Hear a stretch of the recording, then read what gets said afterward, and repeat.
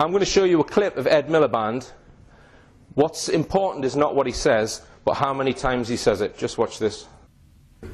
These strikes are wrong at a time when negotiations are still going on. But parents and the public have been let down by both sides because the government has acted in a reckless and provocative manner. After today's disruption, I urge both sides to put aside the rhetoric, get round the negotiating table and stop it happening again. Um, I listened to your speech in Wrexham and you talked about the Labour Party being a movement. A lot of people in that movement uh, are the people who are on strike today and they'll be looking at you and thinking, well, you're describing these strikes as wrong. Why aren't you giving us more leadership as a leader of the Labour movement? At a time when negotiations are still going on, I do believe these strikes are wrong. And that's why I say both sides should, after today's disruption, get round the negotiating table, put aside the rhetoric, and sort the problem out. Because the public and parents have been let down by both sides. The government's acted in a reckless and provocative manner. Well, I spoke to Francis Maude before I came here, and the tone he was striking was a very conciliatory one. Do you think there's a difference between the words they're saying in public and the attitude they're striking in private in these negotiations? Are there negotiations in good faith, would you say? What I say is that the strikes are wrong when negotiations are still going on, but the government has acted in a reckless and provocative manner in the way it's gone about these issues.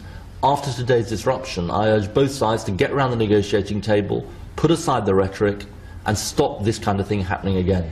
Um, it's, a, it's, a, it's, a, it's a statement you've made uh, publicly, and you'll make to me, and this will be broadcast, obviously, but have you spoken privately to any uh, union leaders and, and expressed your view to them on a personal level, would you say? Well, what I say in public and in private to everybody involved in this is get round the negotiating table, put aside the rhetoric and stop this kind of action happening again. These strikes are wrong because negotiations are still going on, but parents and the public have been let down by the government as well, who've acted in a reckless and provocative manner. Um, you're a parent, I'm a parent, a lot of people watching this will be parents. Um, has it affected you personally, this action? Has it affected your family, your friends? I mean, and, and what is the net effect of that going to be on, on parents having to take a day off work today? I think parents up and down the country have been affected by this action. Uh, and it's wrong at a time when negotiations are still going on. Parents have been let down by both sides because the government has acted in a reckless and provocative manner. I think that both sides should, after today's disruption, get round the negotiating table, put aside the, the rhetoric, and stop, stop this kind of thing. Again. Yeah. Five times. Five times he said exactly the same thing. Now, what that tells me is that those words have been written down and pretty much learned. And I would ask the question, who has written those words? Has he written them and learned them? Someone else written them and learned them? If someone else has written them and he learned them, that means he's 100% a puppet. But let's give him the benefit of the doubt and say that he wrote them down and learned them.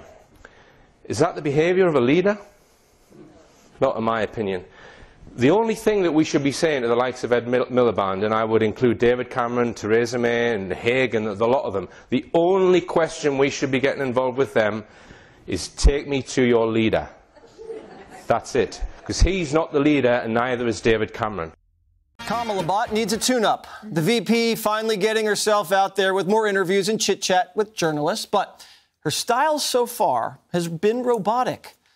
Whenever asked to give policy specifics, Harris reverts to her pre programmed, over rehearsed talking points. Check out this rinse, blather, repeat.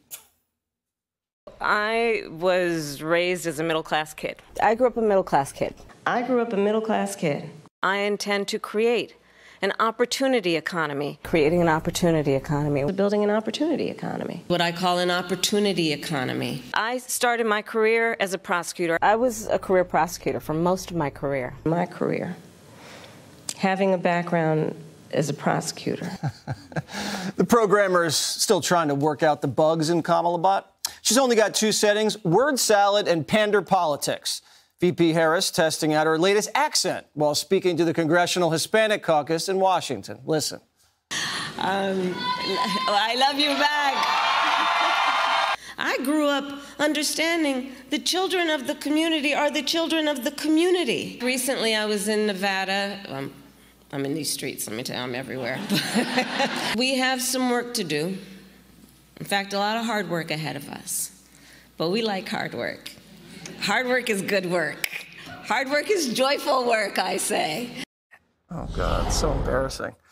All right, Dana, mm-hmm. You could ask her, what are we going to do about the situation in Gaza? And she'd say, well, I was raised in a middle class family.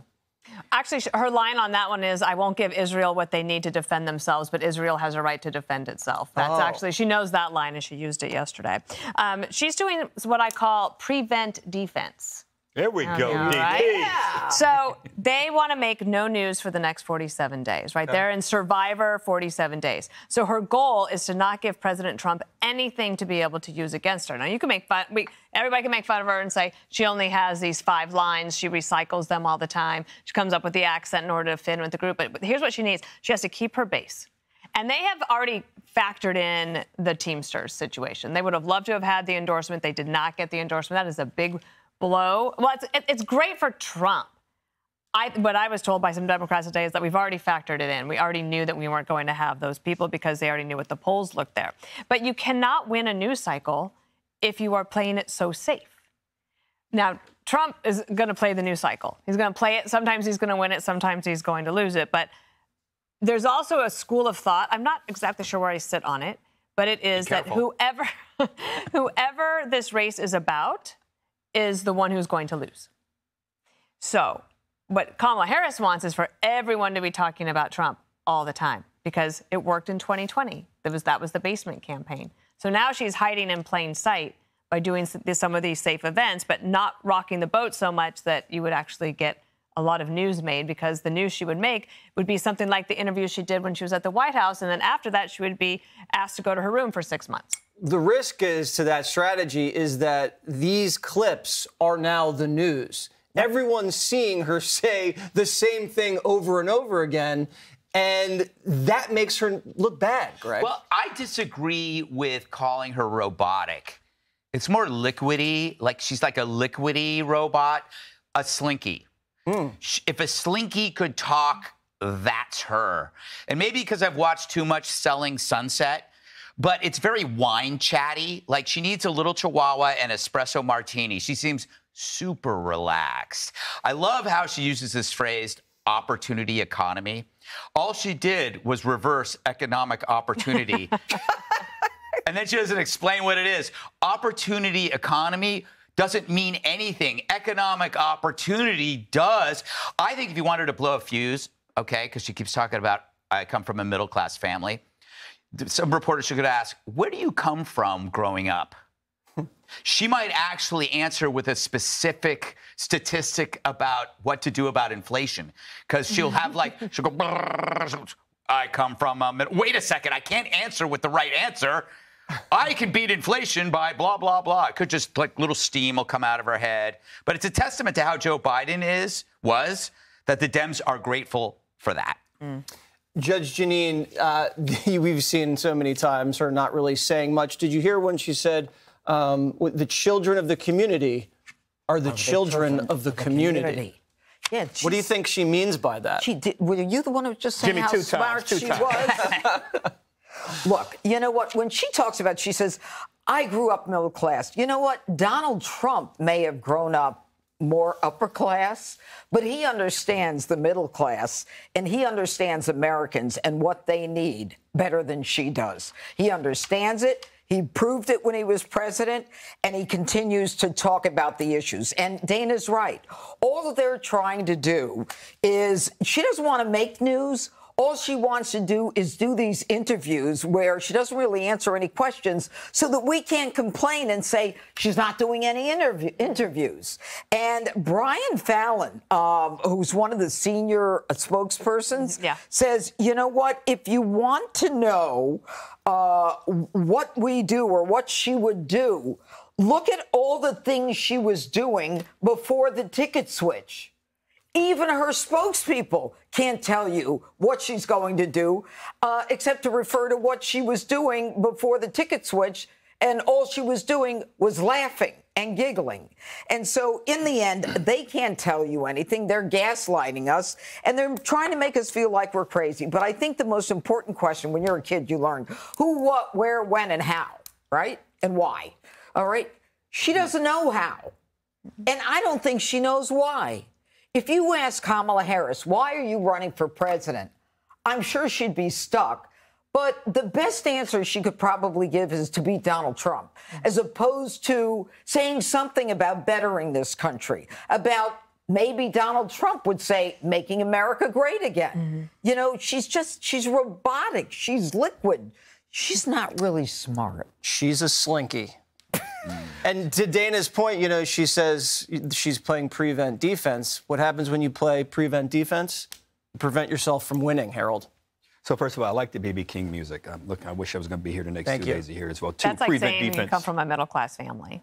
Bi- like saying like BB King. I'm from He's Memphis. running out the clock. He's like, let me run out this clock. So you say prevent defense. When President Trump, after the first debate, which he was defeated in by the dumb vice president, uh, after that debate, he said that he won. And he said, assume, let's assume he's right. I don't think he is. He said, I don't, if you're the champion, you don't give a second debate to the, to the loser. So he was playing his own version of prevent defense and saying, I'm going to use this strategy. I'm not convinced that strategy works for either. Mm-hmm. The pres- vice president says that she wants an opportunity economy. It would be great if she'd give us some elements. What does an opportunity economy look like? Is it more affordable? Is it more affordability for everyday Americans to buy a home, to raise their kids, to buy groceries, to buy gas, to pay for education? Uh, is it stimulus, or tax cuts for small businesses? Maybe their first million dollars of a small business, you cut taxes in half for them. Give us some meat on the bone. I would argue President Trump has not given us this either. He has said, look back to what I did five, six, seven, eight years ago. Most people don't know what they did five hours ago, five days ago, five months ago, let alone five years ago. Both of them would do better, which is what I was the only thing I was trying to say in the first segment. They should both sit down, and we deserve to hear, see them stand side by side and have very tough questions. I would agree with you, Judge. I wish different questions had been asked the last debate. I think Martha and Bret would do a far better job at asking these questions. So you can't play prevent defense. No one wants to see see that happen. The thing I learned from the things you said a- minute or two ago, Judge, I don't agree with anything but that last thing: who, what, when. Who, what, where, when, how, and why. I like that. I'm going to use that. You it? I'm going to give you Not credit. when today.